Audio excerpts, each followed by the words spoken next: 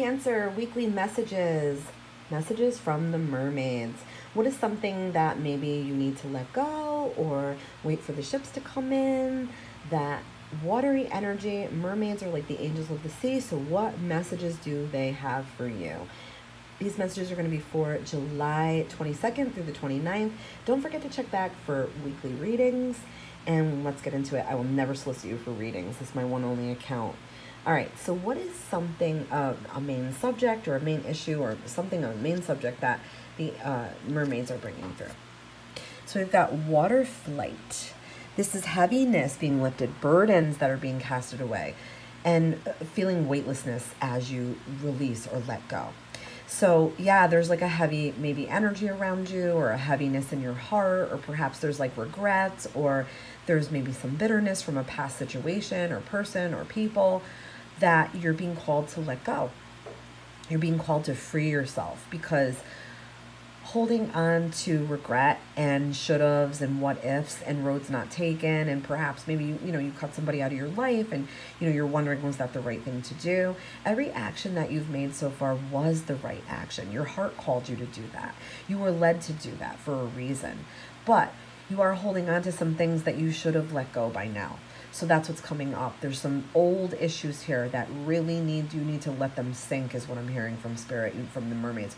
You need to let them sink. They're holding you back. They're holding you, you know, down. I feel like it's old, you know, thoughts also and old bad patterns that are tied to these people or situations from the past or, or whatever it is you feel, you know, guilty about. You don't have to feel guilty. You don't have to feel the, this this heaviness anymore because you have done the right thing. Things things maybe um, not looking so, or maybe there was a lot of chaos leading up to this now. But I feel like the chaos was necessary because it helped. It's helping, or it helped free you. Okay, from um, maybe people that were you know just energy vampires or, or just feeding off of you. All right, and you also have to be aware of people that want to do that to you. Um, okay, so what else do you need to know? We're here. We have dream. So your dreams might be kicking up lately. Pay attention to your dreams. Perhaps get a dream diary. There's messages in your dreams, definitely. Um, so if you're a dreamer or you dream a lot or maybe you have psychic dreams, I feel like pay attention to your dreams. They mean something. There's messages there. Your spirit guides may be trying to communicate there. So we also have to follow our dreams. So I feel like this is also about you following your dream of doing what you really want to do, what's in your heart. It could be like a talent that you have and you're going to grow that maybe into a side business. Whatever it is, um, maybe you've always wanted to act or maybe you've always wanted to, um, you know, do art and, you know, try to put your art out there. Whatever it is, I feel like you're meant to pursue that because it's going to bring you a lot of happiness.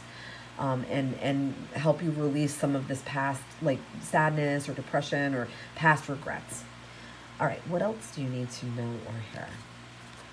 Oh, so we've got pay attention. So yeah, I also feel like, like I said, pay attention to your dreams, but pay attention. Notice um, repeating signs, um, like repeating numbers, that sort of thing. I feel like notice those synchronicities are trying to guide you, um, and they're being sent to you so you could know. In other words, you could have those aha moments. Um, pay attention to those aha moments. I feel like your intuition is waking up like never before.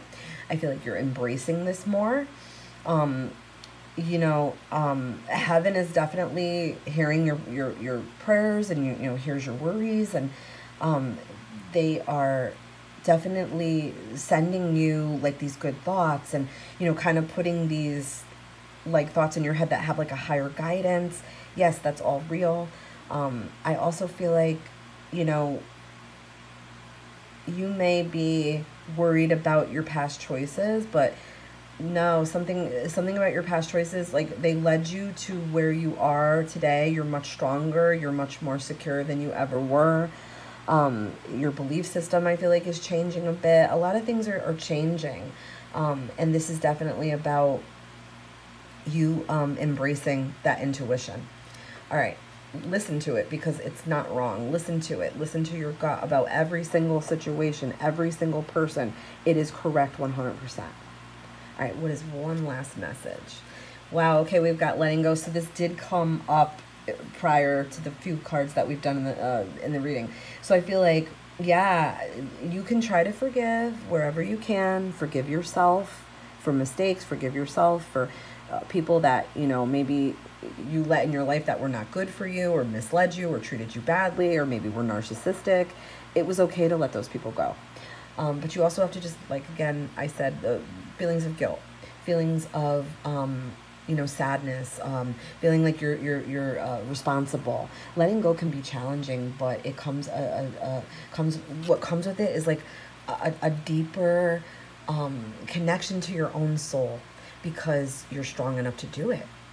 Love and light. Check back for next week's reading